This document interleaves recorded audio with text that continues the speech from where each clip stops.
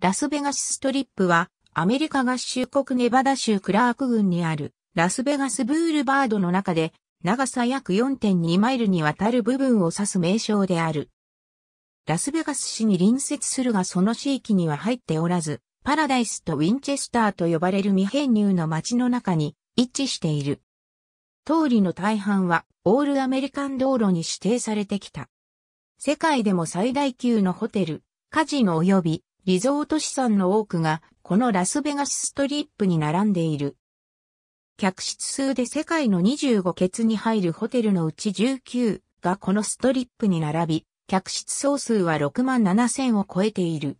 19ホテルの一つであるラスベガスヒルトンはオフストリップにあるが、ストリップからは0.5マイルも離れていない。ラスベガスの都市景観で最も目につく要素は建物外観である。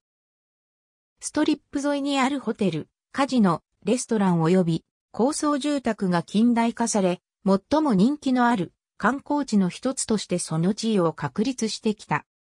2009年のラスベガスストリップ歴史を見ると、ラスベガス市中心街のフレモントストリートに立地しないカジノは地域を外れラスベガスブールバード沿いに制限されてきた。1959年、素晴らしきラスベガスにようこそという標識が地域の外4.5マイルちょうどの地点に建てられた。この標識の位置は一連の市街地南端のカジノであるマンダレーベイ南入り口の約0.4マイル南になっている。厳密な意味でストリップはラスベガスブールバードの中で大まかにサハラアベニューとラッセルロードの間延長で4.2マイルにのみ当てはまる。しかし、この言葉は道路だけでなく、道路沿いに並ぶ様々なカジノやリゾートにも適用され、さらには道路に面していなくてもその付近にある施設にも適用されている。ネバダ州ゲーム委員会のような特定政府機関は報告書を書くためにラスベガスストリップとしてこれら施設を分類している。ただしこの定義ではハードロックホテルカジノのようにラスベガスブールバードから1マイルあるいはそれ以上、離れた施設も含んでいる。ストリップ地域、リゾートコリダーあるいは、リゾート地区といった言葉は、地理的にさらに大きな範囲を指すときに使われることがある。ネバダ州ゲーム委員会は、ストリップの北端をサハラアベニューと考えている。一時期、南端はトロピカーナアベニューだったが、建設が進んで、ラッセルロードまで伸びてきた。マンダレーベイがラッセルロードのすぐ北に立っており、ネバダ州ゲーム委員会がストリップ沿いにあると考える最南端となっている。リゾートの数と大きさゆえに、リゾートコリダーは極めて幅広いものとなり得る。週間高速道路15号線がラスベガスブールバードとほぼ平行に0.5マイル西を走っている。またパラダイスロードが同様に東側に並行して走り、セントルイスアベニューが終端になっている。ストリップの東側はトロピカーナアベニューの南でマッカラン国際空港によって切られている。この地点より北側ではリゾートコリダーが東のパラダイスロードまで広がっていると考えられるが、それよりも手前にあるコバルレーンを境界と考える者もいる。週間高速道路15号線の道215号線とのインターチェンジからスプリングマウンテンロードまでがリゾートコリダーの西側境界と考えられることがある。それより北ではインダストリアルロードが西の境界になっている。ネバダ州ゲーム委員会はラスベガスブールバード南のラッセルロードからサハラアベニューまでに位置するすべてのリゾート施設、さらにラスベガスブールバードには直接面していない近くの施設いくつかを含めてストリップ賭博地域を定義している。この中には、リオホテルやパームズホテルなど、ラスベガスブールバードと、週間高速道路15号線の西にある小型のリゾート施設を含むが、さらに一ブロック西にあるオーリンズホテルは含めない。ラスベガスブールバードの東、パラダイスロード沿いにある施設、例えば、ラスベガスヒルトン、テリブルズカジノ及びウェスティンカズアリーナ、ラスベガスホテルカジノスパ、フーターズカジノホテル及びハードロックホテルカジノは、この定義域に含まれている。しかし、ストラトスフィアラスベガスは、サハラアベニューより北にあるために定期域に含まれない。有名な素晴らしきラスベガスにようこそという標識がラッセルロードのすぐ南の中央分離帯に立っている。ここは昔クローンダイクホテルカジノがあった。これと似たような標識は、ストリップの北端、セントルイスアベニュー東とメインストリート南の交差点近くの中央分離帯にも立っている。ラスベガスブールバードの歓迎標識の南8マイルにも、サウスポイントホテルや M リゾートなど、新しいリゾート施設が作られている。これらのカジノの宣伝では通常ストリップではなくて、ラスベガスブールバード南部にあると表示している。この地域はサウスストリップと呼ばれることが多い。ベラージオホテル、シーザースパレス及びストリップの一部国道91号線沿いに最初に建設されたカジノは1931年のペアオダイスクラブだったが、現在のストリップ沿いでは1941年4月3日に63室でオープンしたエルランチョベガスが最初だった。このカジノはほぼ20年間営業されたが、1960年の火事で消失した。このカジノの成功で1942年に2番目のホテルであるホテルラストフロンティアが開業した。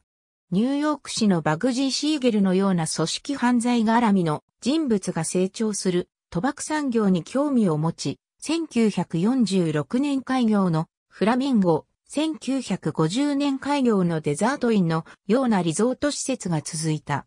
多くのプロジェクトの資金はアメリカンナショナルインシュアランス社から提供された。この会社は当時テキサス州ガルベストンの悪名高い賭博帝国を本拠にしていた。今から数十年前、ラスベガスブールバード南はアローヘッドハイウェイあるいはロサンゼルスハイウェイと呼ばれていた。ストリップという名前はロサンゼルス市警察のガイ・マカフィーがその故郷のサンセットストリップにちなんで名付けたとされている。1968年、カークカーコリアンがフラミンゴを買収し、サハラホテルの副社長、アレックス・シューフィーを社長として起用した。シューフィーはサハラの重役のうち33人を連れてきた。フラミンゴは当時建設中だったインターナショナルホテル従業員の訓練に使われた。1969年に開業したインターナショナルホテルは客室数1512もあり、大規模リゾート時代の幕を開けた。このホテルは現在ラスベガスヒルトンと呼ばれている。やはり、カーゴリアンの資産である初代 MGM グランドホテル、カジノは1973年に客室数2084で開業した。当時、客室数では世界でも最大級のホテルだった。例えば1967年にモスクワに建設されたホテルロシアの客室数は3200だったが、その大半は面積118平方フィートのシングルルームであり、MGM グランドホテルの標準的室面積のほぼ4分の1に過ぎなかった。1980年11月21日、MGM グランドホテルカジノは、ラスベガスの歴史の中でも最悪の火災を起こし、87人が死亡した。このホテルは8ヶ月後に営業を再開した。1986年、カーコリアンは MGM グランドホテルをバリーマニファクチャリングに売却し、現在はバリーズラスベガスと呼ばれている。1985年、ウェットンワイルドがサハラホテルの南側に開業した。この遊園地は2004年末に閉鎖され、後に解体された。夜のラスベガスストリップ、左手前は当時のアラディン1989年のザミラージュの開業により小さなホテルとカジノがより大型のリゾート施設に道を譲る新しい段階に入った。この巨大施設では娯楽や食事が楽しめ、ギャンブル、宿泊ができる。この変化によってザ・デューンズ、ザ・サンズ、スターダスト及びサハラのような有名で歴史があるが、小さなホテルカジノが影響を受けた。1995年、ディーン・マーティンが死んだ時、弔意を示すためにストリップ沿いの明かりが消された。これは1998年にフランク・シナトラが死んだ時も繰り返された。2005年、クラーク軍はインダストリアルロードのトウェインアベニューから南の部分をディーン・マーティンドライブと改名し、この有名なラットパックの歌手にして俳優であり、ラスベガスをたびたび訪れたエンターテイナーへの検事とした。またラスベガスストリップと週間高速道路15号線の間を並行して走る道はフランクシナトラドライブと名付けられている。ラスベガスのホテル経営者たちは家族連れを引きつけるために年少者向けのアトラクションを多く提供したが、それは必ずしも成功したとは言い難い。現在の MGM グランドホテルカジノは1993年に MGM グランドアドベンチャーズテーマパークと共にオープンしたが、テーマパークの方は人気を得られず、2000年には閉鎖された。同様に2003年にはトレジャーアイランドがそのビデオアーケードを閉鎖し、それまでの海賊というテーマを捨てて、新しいという名前を採用した。ラスベガスストリップには、大型のホテル、カジノ及びリゾートに加えて、小型のカジノや M&M ワールド、アドベンチャードーム及びファッションショーモールなど、その他のアトラクションがある。1990年代半ばからは、大晦日のイベントが人気を呼んでいる。2004年、MGM ミラージュは、旧ボードウォークホテルの場所と隣接地、面積66エーカーに70億ドルをかける多目的プロジェクト、プロジェクトシティセンターの計画を公表した。この計画には、ホテル、カジノ、集合住宅、小売店、芸術、事務所などが含まれている。シティセンターは、この種の複合施設として世界最大である。建設は2006年3月に開始され、2009年後半に大半の施設がオープンした。長期間にわたりラスベガスストリップは世界一収益を上げるギャンブルの中心地であり続けてきたが、2006年、その座をマカオに譲って第2位になった。夜のラスベガスストリップ南部。当時建設中だったシティセンターが2009年にオープンした。ラスベガスストリップ自体ではないが、ストリップの東側でトロピカーナアベニューからサハラアベニューまでラスベガスモノレールが走っている。RTC 交通がザ・デュースと呼ばれるダブルデッカーのバスを通り沿いに運行している。デュースはストリップ南端のマンダレーベイからフレモントストリート、エクスペリエンスに近いラスベガス中心街、交通センターまでほとんどあらゆるカジノを停留所に運行している。またエースゴールドラインと呼ぶ急行バスも運行している。この線は、ストリップとラスベガス会議場及び中心街を結び、いくつかのホテルとショッピングセンターで停車している。観光用とローリーがストリップを往復しており、全部ではないが様々なストリップソイホテルとファッションショー、モールで停車している。料金はどこまで乗っても片道3ドルである。また1日乗車券は7ドルで、釣り線のいらないちょうどのお金を用意する必要がある。運行間隔は15分ごとである。いくつかの無料モノレールがストリップの西側を走っている。タクシーはホテル玄関あるいは指定地点でのみ利用でき、どこかへ行きたいときは最寄りのホテルに行く必要がある。1992年に CAT のバスが運行されるまで民間のラスベガス交通が大量輸送を担当していた。このストリップを通る経路のみが利益の出る路線だった。ラスベガスブールバード、日中の交通量シャトルのいくつかは提携するカジノのルームキー提示を求める。このやり方の強制力は様々である。ストリップにあるいくつかのホテルは棟梁歩行者に優しいものにしようと努力してきた。新しいカジノはそのファサードを歩いてくる顧客の目を引くようにデザインしている。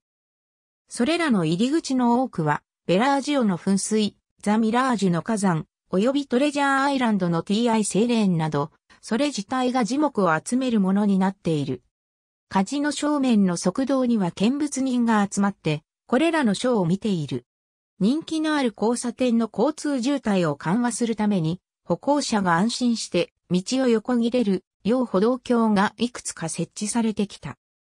トロピカーナアベニューとラスベガスブールバード交差点の歩道橋が最初に設置され、これが成功したことに基づいて、フラミンゴロードとの交差点、ザ・ミラージュとトレジャーアイランドとザ・ベネチアンの間、スプリングマウンテンロードとの交差点、さらにはトロピカーナアベニューとの交差点などに歩道橋が建設され、また最近プラネットハリウッドとシティセンターを結ぶものが作られた。近年、一つしかなかったストリップ沿いのゴルフコースであるデザートインゴルフコースが大規模リゾート需要に合わせるために閉鎖された。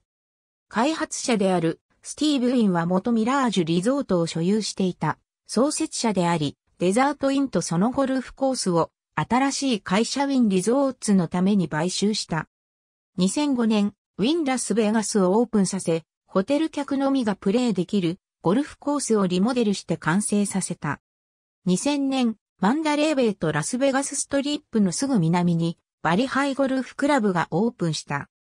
週間高速道路215号線から眺めた夜のラスベガスストリップ、北が左、南が右、ニューヨークニューヨークと MGM グランドを結ぶ歩道橋からの北方向の眺め、ラスベガスストリップにおける呼び物やショーの大半は、ホテルやカジノの資産内にある。ストリップから見られる人気ある無料の呼び物には、ベラージオの噴水、トレジャーアイランドの TI サイレン、ザ・ミラージュの火山、及びシーザーズ・パレスのアトランティス滝と、フェスティバル噴水がある。MGM グランドは、カジノ地域の中に、ガラス張りのライオン生息地があり、毎日最大6頭のライオンが見られる。ラスベガスストリップに直接面する映画館は MGM グランドに隣接するショーケースモールにある10スクリーンのリーガルシアターのみである。1997年にオープンし、リーガルエンタテインメントグループが運営している。ありがとうございます。